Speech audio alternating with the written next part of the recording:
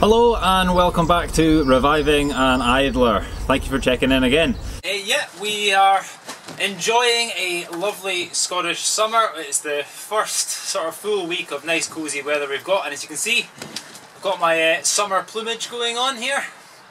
We've managed to level out the boat as you saw in the last episode and we're now finally getting to crack on with some of the ribs so absolutely fantastic. Really really happy to be in this place. So a couple of the discoveries I've made off camera is the sawn ribs appear to be fastened with iron nails and as you could well imagine they are completely rotten so it's thrown up a fresh spanner into the works on that one. I'm not entirely sure how you go about removing completely rotten fastenings. At the moment, what I'm attempting to do, and you guys may have some better ideas for me, um, please leave them in the comments, but what I'm going to try is taking out the big solid bolts that I can, removing any screws that have been placed in uh, throughout her life, um, and the majority of the metal fastenings, uh, iron fastenings, I believe are going to be so corroded that I think I'll just be able to pull the frame out pretty much by itself. Going forward, I'm going to remove this frame in its entirety and I'll hopefully be able to use that as a template because I need to make exactly this one again because this side of the boat is completely fine. In an ideal world this is then going to be able to flip straight over and go into this side so I'm going to start with that.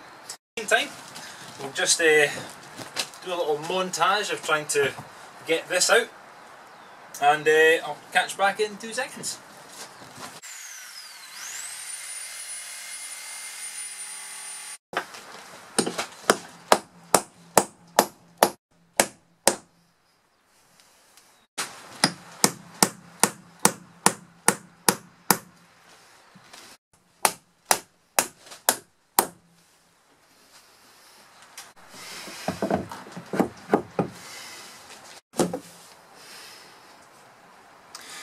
That's a wee bronze bar that's been hammered in there for a wee while and actually not too shabby. Yeah that could be, I mean, that would have lasted a while in there. That didn't need to come out. I will of course replace it with new but it's uh, that's not too bad. Cool. So you are currently looking forward, bow is that way, and this is the, the knee attached to the frame that we're working on here. Um, what I've done so far is I've removed the bronze through bolts that nail the floor to the frame and I've removed as many screws and bolts that I can see on the actual frame through, that go through the planking. However, the majority, like I've said already, are iron fastenings, are iron nails. So, uh, what you're able to see here is the what's left of the keel bolt coming up through, and then you'll also see the tops of a couple of bronze bolts here and here, and they go through the keel. So they bolt the floor to the keel itself, and then the keel bolt there that goes through the wooden keel and down into the ballast keel as well. So I need to get rid of these in order to drop the ballast keel. Um, however, first of all, I need to get this floor out so I can then see about removing this frame and what's left of this frame, make a replacement, and then I'll be able to just replace the whole lot hopefully. Now the good news is that there doesn't appear to be anything holding in, anything going through the planking into the floor. I know that's sometimes the case in some boats, but it doesn't appear to be the case in ours. I didn't see any evidence of bolts when I was scraping, and I made sure to scrape uh, on the outside of the planking around the side of the floor as well, just to make sure that there wasn't anything holding it in. So that's fine.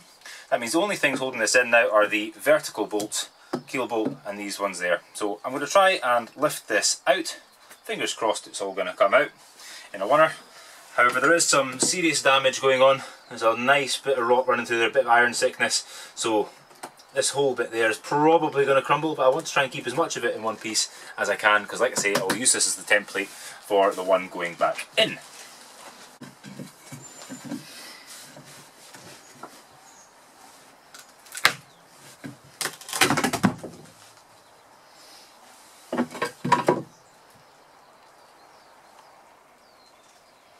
Gives you a good chance to show you the state of some of that wood.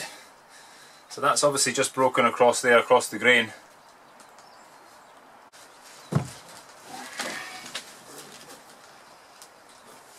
That actually looks like that's been broken for a while. And there's the remainder of a fastening. So we are bolted, the floor is bolted into the planking. After all, we just can't see them because they're fully corroded. I mean, I can probably not quite crumble that.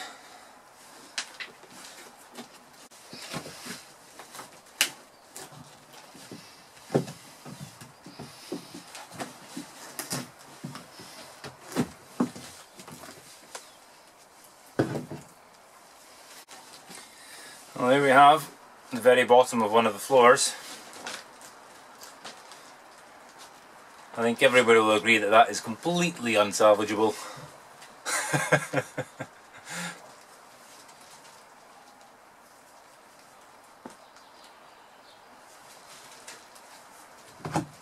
that would originally have sat something like that. So it's a sizable, sizable lump of wood when you see it like that. Cool. Keep going. So I'm just looking over on the other side, on the port side of the boat, and I've just levered out the remainder of that rib just so we can have a wee peek at what's going on underneath. I want to confirm what we're dealing with. And as you can see, that is the screws that we have got to deal with. Now they're quite thin, they're, they're very flat actually and tapering slightly off to a finer point and quite wide. They're almost like little strips of metal, like almost like you'd get in a nail gun, um, but slightly larger. So that's fine. Knowing that we have these flat nails uh, is good because it means, hopefully, it means for the rest of them we should just be able to lever out the ribs. Um, there's no threads on them. They're not they're not barbed or anything like that. So it's going to make pulling them out a bit easier. The main concern I had was that they would be so corroded and so fast and so stuck that when we did actually pull the rib off, that it would either break, as it has in some of the cases, leaving a little bit in the planking, which if it's fully corroded will be quite difficult to remove, or it will have gripped so firmly that it will pull the nail through the planking and thus destroying any chance of salvaging the planking on the other side, or at least making it quite difficult. So Thankfully, at least with this one, we've not had too many break. There are a couple, um, but the majority of them are actually still there. And if they're still there, hopefully that means I can hammer them back out through the planking as you would with the copper nails and uh, reuse the holes uh, where they're not corroded. Because they are iron, I am going to have to be careful now because we have got iron fastenings where the frames are, so I'm going to have to be extra vigilant for iron sickness. Um, hopefully if it is present, it's going to be in a small enough uh, zone that I'll be able to use a plug or something so if I could if that's something that I feel I need to do then we'll, we'll talk about that in the future. Plenty of time because we're not looking at fastening that back up yet but that's something to be aware of. That we okay so we're at a little bit of a decision point. So as we know the bilge stringer has been giving us a bit of uh, trouble since uh, we started this project. It's going to be very difficult to move these ribs out of there when we have to try and lift the rib off the nails because we can't drive them out the other side. So the only thing I can really do, realistically, get this loose. This is a little bit of a worry because I still believe these stringers are stopping the boat from twisting too much. So I still don't really want to do this, but I think my hands are tied. I think I'm going to have to pull this stringer out. So that's what I'm going to go ahead and do. Um, however, before I cut the heads off these bolts and then just lift the stringer out, I'm going to try and take some measurements from everywhere in the boat, as many places as I, as I can. Um, I'm going to mark with both knife and pen various places on the boat as well, so I, I, I can try and identify anywhere that may have shifted or moved. I will also mark the actual bilge stringer itself where the ribs intersect. I guess that's the plan made. I think we're going to have to do that. Is there any other thing I can do apart from remove that bilge stringer?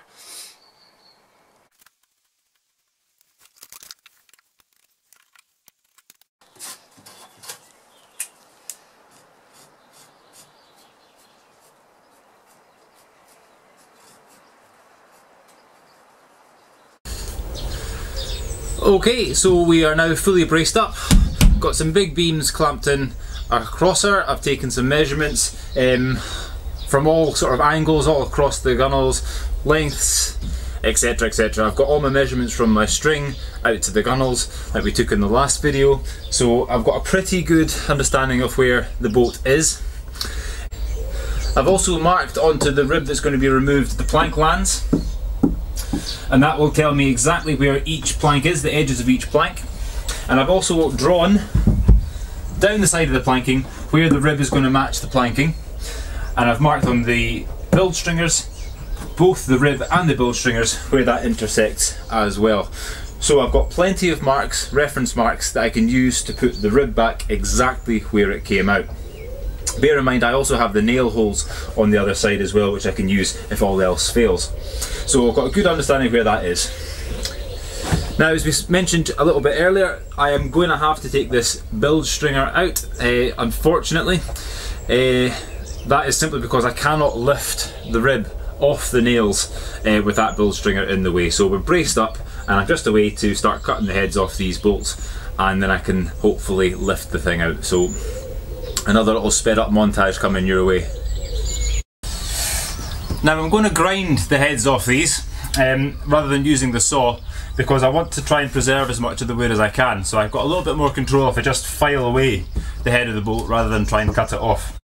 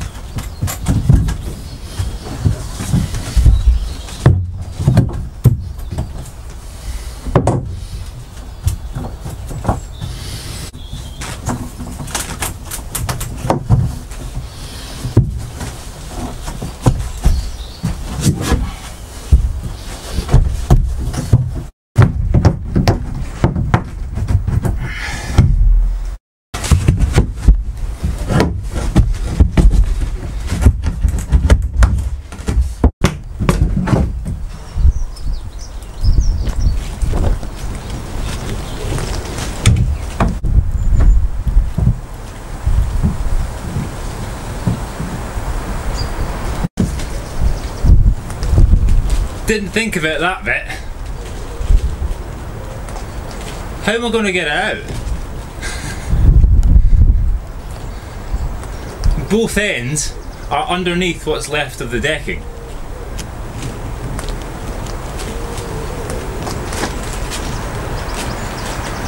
Best chance is I can bend it into that gap there and poke that end out there, out the stern. Best laid plans of mice and men, eh?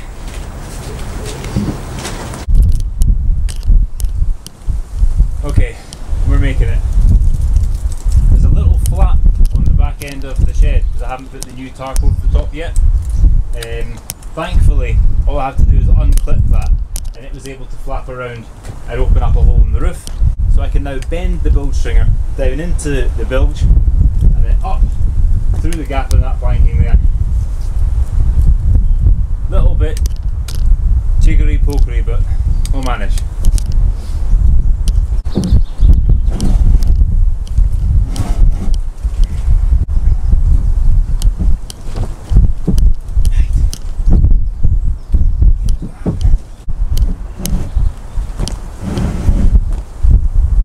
Well, there's been a dramatic and quite typically Scottish change in the weather and it is gone from that lovely sunny day uh, calm and still to blowing an absolute hoolie and bitterly, bitterly cold. Aye, the weather's spun round and is now coming in from the northeast, so it's bringing in all that really cold North Sea air, so that's uh, the reason for that. Making good progress on this, I still hope to get this one out today so we can start to make up the templates for the new one tomorrow. And the nails do appear to just be pulling out, so we'll just work our way up and uh, hopefully we get the whole thing out in a winner.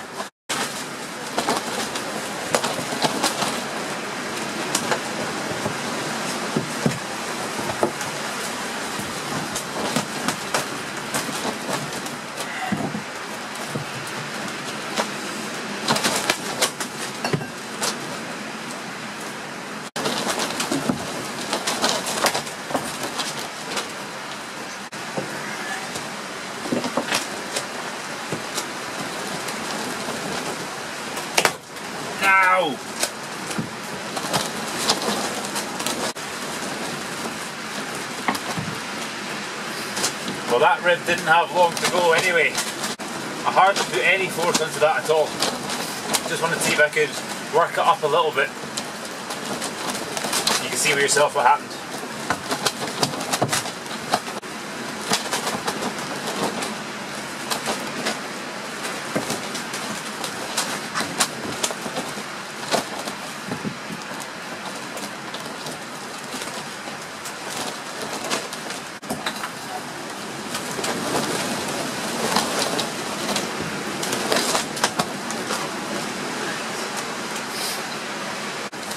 So, okay, we didn't quite get it out in one piece, which is a shame.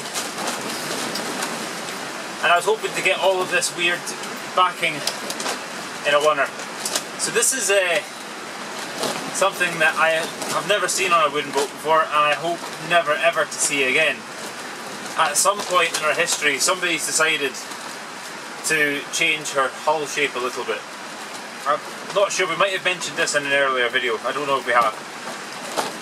However, instead of changing the frame or cutting a proper filler piece, they've used um, compressed cardboard. It's the same stuff, you know if you buy like a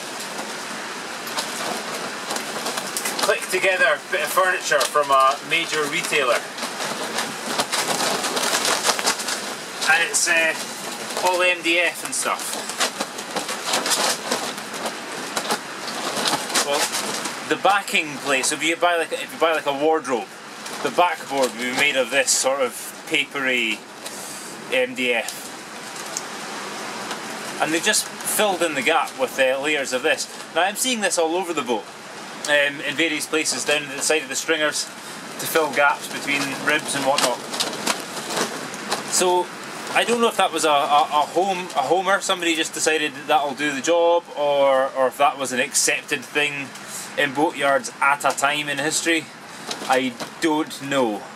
Um, needless to say, it's pretty unimpressive, given that that's a frame, i.e. a structural member of the boat, and it's spaced out at least, so the planking's being supported by uh, something that frankly is going to disintegrate if it ever became too wet. Not to mention the fact that it would become an absolute mould magnet as well. Pretty poor show really. Anyway, that's what it is now. We need to take account of that for the next frame. Because when we cut the next frame, we're going to include that extra thickness in the new frame that we cut. So I need to try and save as much of this as I can, stick it back in there so I can use this as the template. But that's us off to a start at least, so we've got the frame out, we've cleared the runway. Next step is to clean this all up a little bit and then go and take a template. Another thing to notice is the fact that a lot of the nails have stayed in.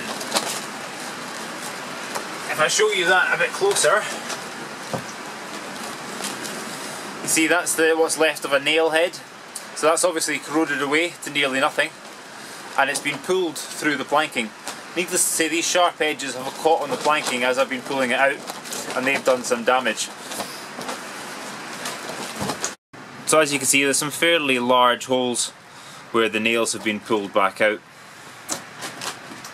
It's not too impressive, um, and with some fancy plug work, I think it could be fixable, um, but we'll talk about that in a later episode. So we've managed to get our frame out of the boat, albeit in two pieces, and it gives you a pretty good idea of what we're going to do next. We simply take the ripstock, do exactly what you think you'd be doing, plug it on, draw around it, and that's what we're going to use to start. So as you can see, I've done that already for both sides. And just like everything, we are looking to try and avoid any major knotting or anything like that. Ideally, I'd have the grain running full the way round in that curve. Uh, unfortunately, I'm not able to do that, but I'm utilising the grain as much as possible so we're not going across the rib anywhere, or at least not going across the rib too much. Um, it is a little bit through in this top section here, but thankfully the grain does curve a little bit there and starts to come round a little bit there. But it's nice and wide there anyway. So, quite simply, we're going to rough this out, chop it out with the blank so it's a little bit easier to handle, and then we can start thinking about uh, cleaning it up. So one of the nice things about taking a rib from the middle of the bolt first is that there's not a lot of a rolling bevel. If I take a square, this would be your inside face, if I take a square and plonk it on there, right down there by the keel, there's not a lot of bevel in there at all. But in some cases it's actually non-existent. And that carries on all the way up until you get almost to the tops of the frames, up here, before you start to see any significant bevel. Um, it's quite a different story on the inside. Um, although it's fairly flat, there is more of a bevel on the inside, but we can do that later on as we're fairing it. So as long as you get it close to what it needs to be, we can fair that later when we put the bilge stringers back in.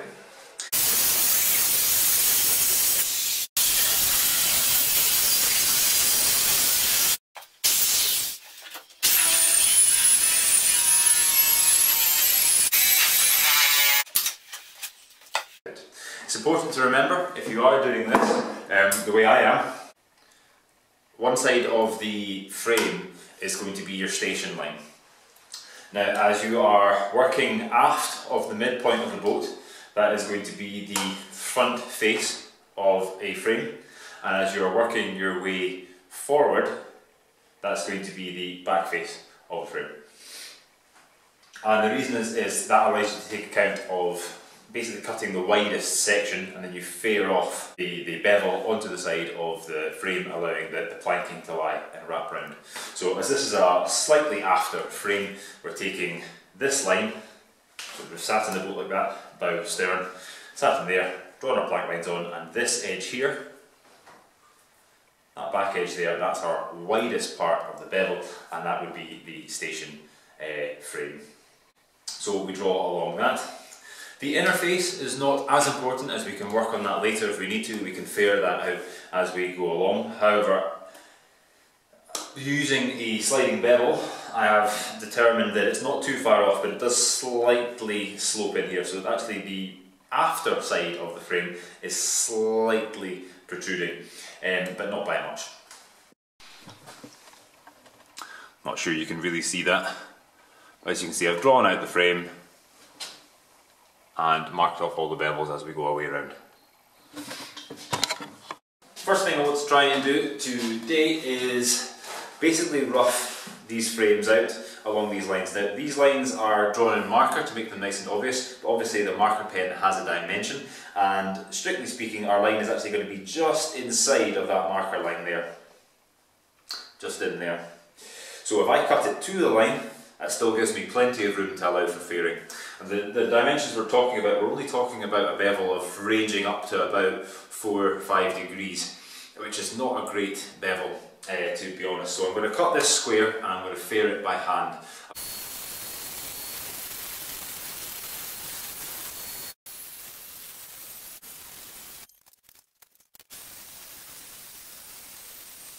And there we have it, one sawn frame. Now obviously there's a lot still to do to this. Um, particularly needs to be fitted and faired so it actually fits the planking and rolls round. This is uh, obviously just set at 90 degrees, there's going to be a bit of a bevel cut into there, but there's also this section here. And if you have a look at the old frames that we took out, they were packed out with this material here from both sides and I couldn't take all of it out, it was too rotten to, uh, to save. Um, so what I've done is I've taken that mark and there was another piece here and that mark and I kind of extrapolated out that line and followed that round. So that line's not going to be exact as per uh, the rib. So I'm going to have to take it to the boat, lay it in and just fair away and try and find that exact line because that's not currently being replicated. So I'll do that just by uh, laying it in the boat and working away at it. But it's good to know that even on these fairly cheap uh, power tools that you can buy in your local hardware stores, with the right blades on them, you can do a lot of work. I mean, this is a quite a sizable chunk of green oak. Um, still quite wet to be fair, and it's it's doing an admirable job. As you saw there, I was able to cut it quite quickly. So it just it just goes to show that you don't need massive tools to do amateur boat building. Obviously, Idler is quite a small boat. I mean, she's she's little more than a big dinghy. She's uh, going to be built with DIY hand tools and DIY power tools. Nothing particularly fantastic, and that's how she would have been built back in the day. Uh, if they had uh, power tools at all, it would have been perhaps a form of ship saw or, or type of table saw or something like that. Uh, and that would have just been to speed up the process.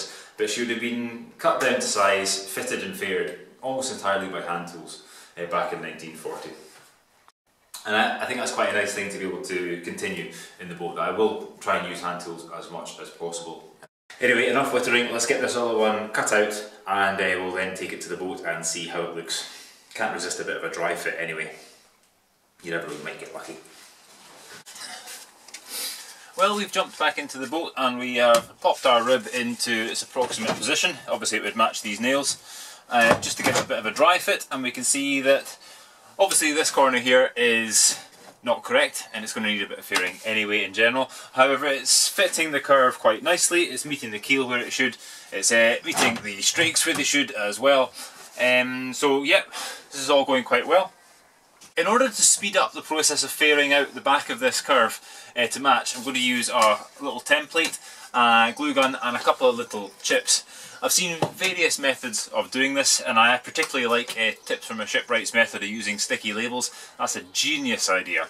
Um, however, I don't have any sticky labels. What I do have is offcuts of plywood, a glue gun and uh, patience. So what we're going to simply do is take a blank bit of wood, lay that alongside the, the rib, and then using little stickers, glue them in place, just along to meet certain points, as many as we can, and they meet the ribs. And when we take them off, each of these points indicates a curve, and then we just lay a rule along them, draw a fair line, and that'll give me the face we want to then transfer onto the back side of this curve for uh, the front part of our, of our frame. And then that's it. We simply break it off the rib. Each of these points forms the contour the outside of that frame. Transfer across to the rib and we are laughing. So once we've uh, transferred the lines across, we then, using our plane, work along the edge, chamfering it off, bringing the bulk of the material down to a level with the line, and then we work it then squaring from that line back out across the face using a, a square edge. So you probably can't see from there, but that's not too far off. It's got to come down about maybe a mil over the whole length of that, and as we go further down it's a little bit more, it's around about 2 mil uh, across the whole uh, to bring it down in line. And I'll work my way along the whole rib like that, just taking little bits by little bits. You can use compass planes, such as this for varying degrees of curvature, depending on what you want to be using. And I feel that the advantage of having just a very, very low set plane, skimming across, just taking a, a micro shaving, like that, taking a tiny shaving, nothing wider than that, just allows you to have complete control over just bringing the whole thing down. It's almost like sanding but slightly faster.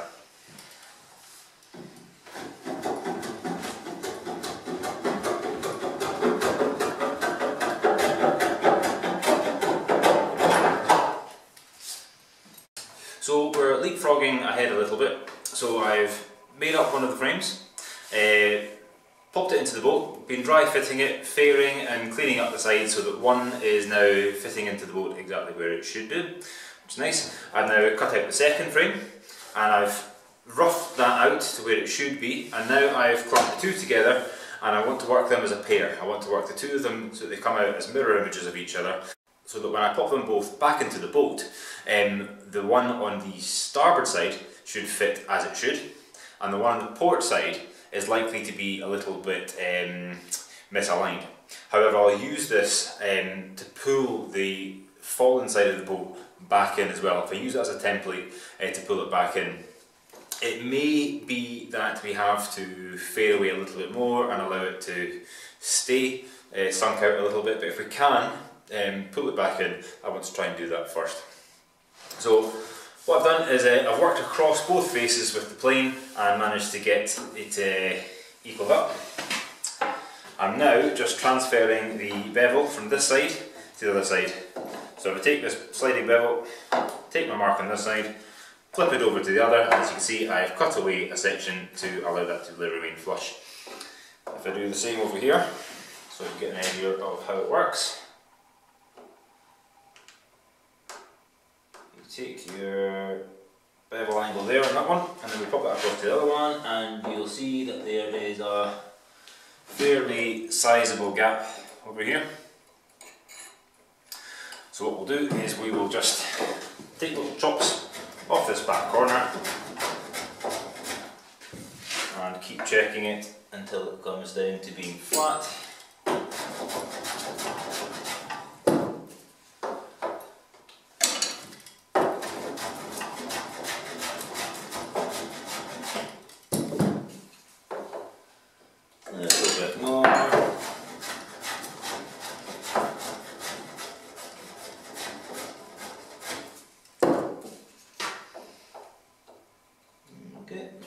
enough just now. And I'll work my way doing that down the whole length so that this side has the matching bevel to this side and then all I'll do is run the plane back over, spanning the gaps and bringing everything even again.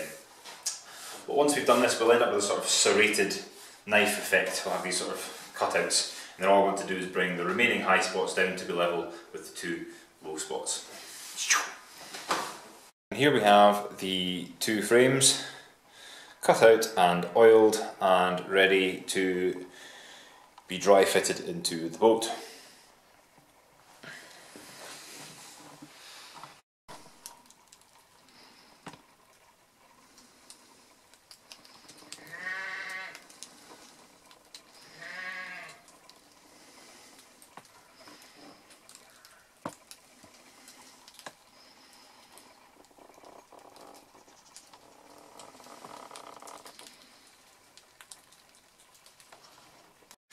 Well as you just saw there we've got uh, both ribs dry fitted in and I think they're fitting quite nicely.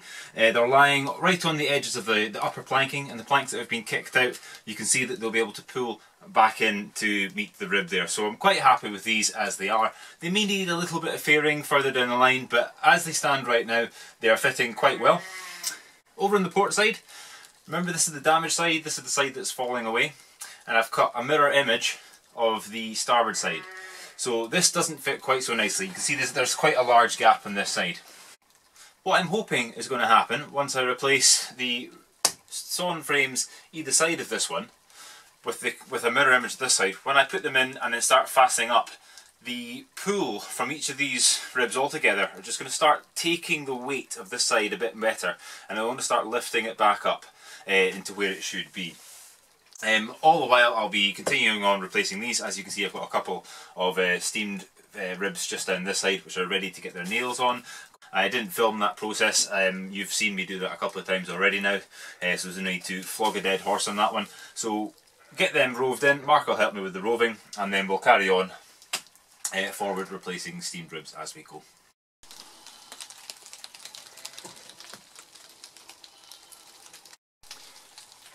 Just offer you a little bit of a close-up on the gap we've got on the forward side of that frame where it meets the planking. So you, you can see there, there's quite a bit to come up on that side considering we've got a, a mirror image of this side here.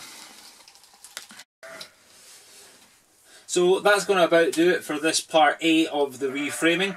Um, I was hoping to keep this a slightly shorter episode, but um, there's a lot of content to cover. If there is anything you'd like to see in a bit more detail, send me a little comment and uh, I'll see what I can do to get that clarified for you. Part B will be coming very very soon and we'll be looking at installing the floor which is this large lump of wood that supports these frames and actually ties the frames to the keel beneath it and we'll be looking at doing that in the next episode. I'll also be looking at the fastenings and how I'm actually going to fasten these sawn frames into the planking. Now as you may have noticed there is some damage to the planking where the iron fastenings have been going through. So I have a couple of options um, to explore in the next episode as to how I'm actually going to get round that, repairing the planking whilst also maintaining the integrity of the planking to hold the fastening to the frame. So there's going to be a little bit of um, technical stuff to cover in the next episode, but that should be with you as soon as I can possibly get it out. In the meantime, thank you very much for watching, sharing and subscribing. A big, big thank you from me and Idler on that one. Huge thank you to my patrons and everybody who is contributing to this restoration in means outside of simply watching the videos. So a big, big thank you for that. Take it easy and I look forward to seeing you in the next video. Bye for now.